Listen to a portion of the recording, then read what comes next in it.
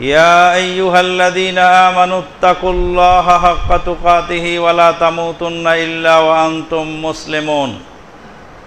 يا أيها الناس اتقوا ربكم الذي خلقكم من نفس واحدة وخلق منها زوجها وبث منهما رجالا كثيرا ونساء. واتقوا الله الذي تساءلون به والأرحام. إن الله كان عليكم رقيبا. يا أيها الذين آمنوا اتقوا الله وقولوا قولا سديدا. يصلح لكم أعمالكم ويغفر لكم ذنوبكم. ومن يطع الله ورسوله فقد فاز فوزا عظيما. ثم أما بعد قال الله تبارك وتعالى بسم الله الرحمن الرحيم. والفجر وليال عشر والشفع والوتر والليل إذا يسر. هل في ذلك قسم لذي حجر؟ الآية. وقال النبي الأمين صلى الله عليه وسلم ما من أعمال أحب إلى الله من هذه الأيام من أعمال هذه الأيام يعني في هذه الأيام يعني بداية هذا الشهر المبارك أو كما قال عليه الصلاة والسلام যাবতীয় প্রশংসা সেই আল্লাহ পাকের জন্য যার অশেষ মেহরবানিতে হজের মাসগুলির দ্বিতীয় চলছে। শাওয়াল মাস সমাপ্ত হওয়ার পরে জুল কায়দা মাস সমাপ্তির পথে। সামনে আসছে জুল হিজ্জা মাস। যেই মাসের শুরু থেকে নিয়ে বরকত, রহমত, মাগফেরাতের পসরা এবং ডালা নিয়ে আল্লাহ পাক পাঠাচ্ছেন এই পৃথিবীতে। তার বান্দার জন্য অশেষ নিয়ামতের ভাণ্ডার। কোরআনুল কারিমে সুরাতুল ফজরে আল্লাহ রব্বুল আলমিন কসম করেছেন, ওয়াল ফজর, ফজরের কসম, সকালের কসম, সুপ্রভাতের কসম। ফজরের কসম ফজর একটি গুরুত্বপূর্ণ সময়। যেই সময়ে রহমত, বরকত নাজিল হয় রসুল্লাহ সাল্লা সাল্লাম সকালের কাজের মধ্যে বরকতের জন্য দোয়া করেছেন। সকালের কাজে অনেক বরকত হয়। রসুল্লাহ সাল্লাহ সাল্লাম তো বলেছেন, আধুনিক বিশ্বের পণ্ডিতেরাও বলছেন early to bed early to rise make a men healthy wealthy and wise সকালে ঘুম থেকে ওঠো, তাড়াতাড়ি ঘুম থেকে ওঠো। তাহলে কি হবে? দনীয় আখেরাতের কল্যাণ হবে। আল্লাহ রব্বুল আলমিন ফজরের কসম করলেন। দুঃখজনক হলে সত্য পরিবেশটা গেছে সম্পূর্ণ উল্টে। রাতে ঘুম ধরে না, ফজরের সময় ঘুম ছাড়ে না। যারা বিশেষ করে ঢাকায় বসবাস করে অভ্যস্ত আমরা মফস্বল শহরে যখন ছিলাম, তখন এই অভ্যাস আমাদের ছিল না। এখন সকালবেলা একটু ঘুম না দিলে সারাদিন কাজই হয় না। ফজরের পরে যেন একটু ঘুমানোটা জরুরি হয়ে গেছে। ফজরের মধ্যে বরকত রয়েছে। এরপরে আল্লাহ পাক কসম করলেন, ওয়ালায়ালিন আসর দশ রাতের কসম। লায়ালিন আসর মানে দশ দিনের কসম। দিনের কসম আল্লাহ পাক করছেন, কিন্তু শব্দ উল্লেখ করছেন লায়ালিন আসর, দশ রাতের কসম। কারণ কারণ হলো, রাতটা আগে আসে আর দিনটা পরে আসে। ইসলামী শরীয়তের যত মাসলা মাসাইল সব সাব্যস্ত হবে রাত আগে এবং দিন পরে। বহু মানুষ এই পয়েন্টে গিয়ে ভুল করে ফেলেন।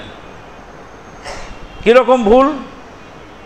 মানে আজকে জুমার দিন জুমার দিন দিবাগত রাতে বা সন্ধ্যার সময় মাগরিবের পরে বা এসার সময় একটা বাচ্চা জন্মগ্রহণ করল। তো অনেকে জুমার দিন থেকে গণনা শুরু করে। শুক্র, শনি, রবি, সোম, মঙ্গল, বুধ, বৃহস্পতি। বৃহস্পতিবারে আকিকা হবে। জি না? এর আকিকা বৃহস্পতিবারে হবে না, এর আকিকা হবে সামনের জুমায়। কেন? যখনই বেলা ডুবে গেল, জুমার দিন কি হয়ে গেল? শেষ হয়ে গেল। যখনই রাত শুরু হলো, এটা হলো লাইলাতুস সাbt শনিবারের রাত শুরু হলো। আধুনিক হিসাব মতে, আধুনিক বিশ্বের হিসাব মতে রাত বারোটার পরে দিন চেঞ্জ হয়। কিন্তু ইসলামী শরীয়তের মতে বেলা ডুবার সাথে সাথে দিন চেঞ্জ হয়। যখন মানুষ বুঝতে চায় না, তখন সহজে বুঝাই দেই, ভাই, তারাবি পড়েন কখন? তারা বিপরেন আগে না সাহারি খান আগে? তা আমরা তারাবিটা আগে পড়ি।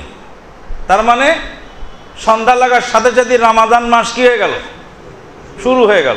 এবার তারাবি পরে সাহারি খেলাম, পরের দিন যখন দিন আসলো সেই দিনটাই হলো আমাদের কি? সিয়ামের দিন। তার মানে আগের রাতটা কি? এই আগের রাতটা হলো ওই দিনের রাত।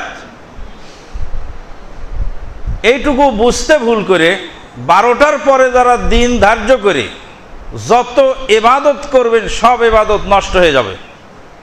কারণ এবাদতের টাইম যদি ঠিক না থাকে, তাহলে সে এবাদত নষ্ট হয়ে যায়। আল্লাহ রাব্বুল আলমিন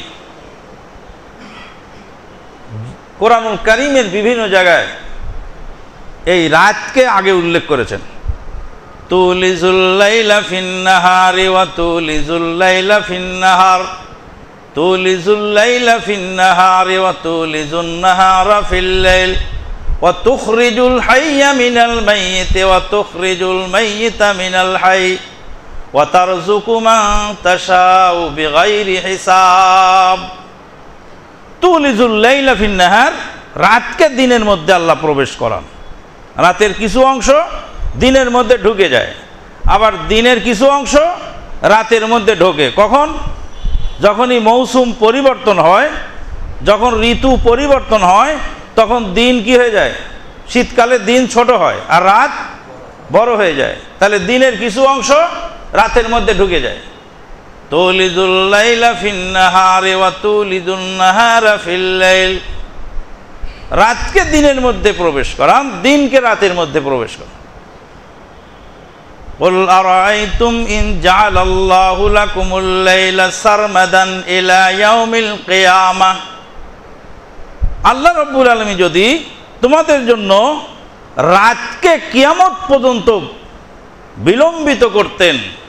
তাহলে তোমাদের কি অবস্থা হতো? তোমরা কি একবার ভেবে দেখেছ?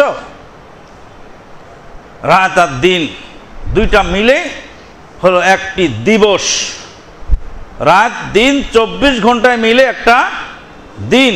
নাহার এবং লাইল মিলে হলো ইয়ম আরবিতে নাহার এবং লাইল মিলে হলো ইয়ম একটি দিন। এখানে সময়ের সাথে অনেক মাসলা সম্পৃক্ত আছে। আল্লাহ পাক বলছেন, ওয়ালায়ালিন আসর দশ দিনের কসম, দশ দিনের কসম আল্লাহ পাক করছেন। মুফাসসিরিনে কেরামগণ বলছেন, এটা হলো জিলহাজ মাসের প্রথম দশ দিন। জিলহাজ মাসের প্রথম দশ দিনের কসম আল্লাহ পাক করেছেন এই সুরার শুরুতেই। ফজরের কসম কোন দিনের ফজরের কসম?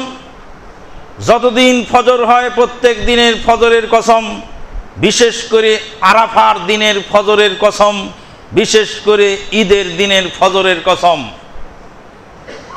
ঈদের দিনের ফজরের কসম, আরাফার দিনের ফজরের কসম, জিলহাজ মাসের প্রথম দশ দিনের কসম, দশ দিনের কসম করতে গিয়ে আল্লাহ রাব্বুল আলমিন রাত শব্দ উল্লেখ করে বললেন, ওয়ালায়ালিন আসর রাতের কসম, দশ রাতের কসম।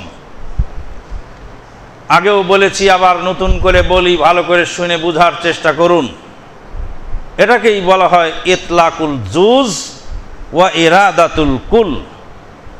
ইতলাকুল জুজ ওয়া ইরাদাতুল কুল, এটা আরবি পরিভাষায় একটা বিষয়বস্তু আছে যে কোনো সময় অল্প কিছু বলে বেশিটা বোঝানো হয়।